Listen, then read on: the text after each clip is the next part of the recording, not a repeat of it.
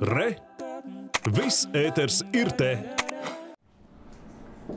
Valters Kirsteins ir diplomēts dizainers, bet savā jaunākajā personāla izstādē Metropolis 225544 eksponējis glezniecības darbus.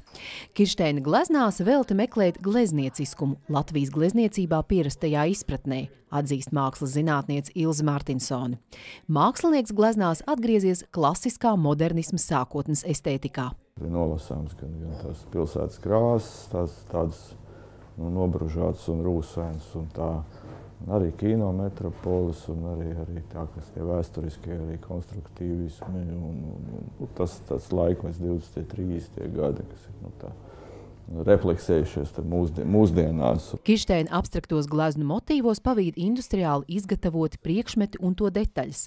Kompozīcijas ir lakoniskas un balstītas krāsu kontrastos. Valtera Kirsteina izstāde būs skatām līdz 18. februārim.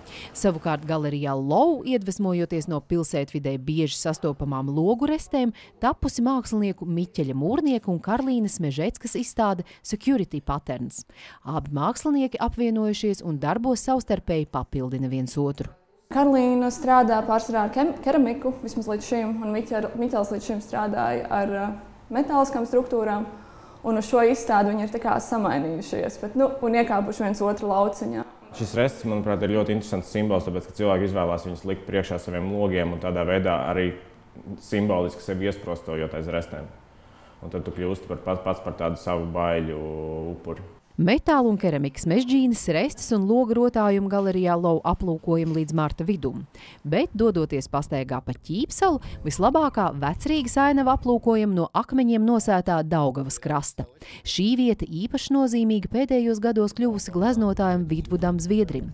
Mākslinieks pēc 25 gadu dzīves Amerikā atgriezies Latvijā un ar ģimeni apmeties ķīpsalā. Ikdienas peldvietas apmeklēšana mākslinieku iedvesmojusi jaunai personāla izstādei Peldvieta, kas šobrīd aplūkojama Žaņa Lipkas memoriālā.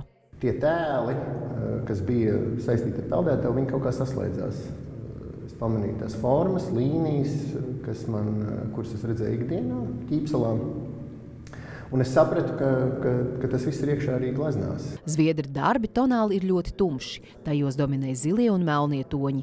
Kā atzīst gleznotājs, tieši šādu daugavu viņš redz rudenī un ziemā. Es strādāju ar gleznu, es strādāju gleznieciski un ar gleznieciskām idejām un ar gleznieciskiem uzdevumiem.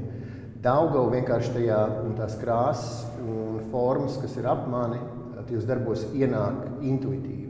Vidvuda Zviedra ķīpseles peldētavas stāsti Žaņa Lipkas memoriālā aplūkojumi līdz aprīļa nogalē. Līga Gaigala un Igors Stāts Latvijas televīzija.